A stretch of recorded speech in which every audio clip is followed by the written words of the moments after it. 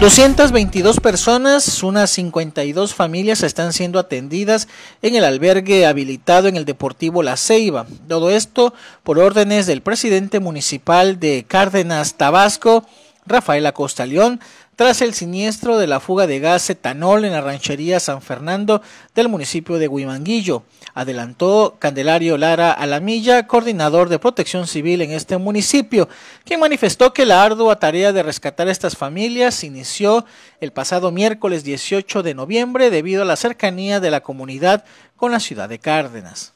Eh, como a las 2 de la mañana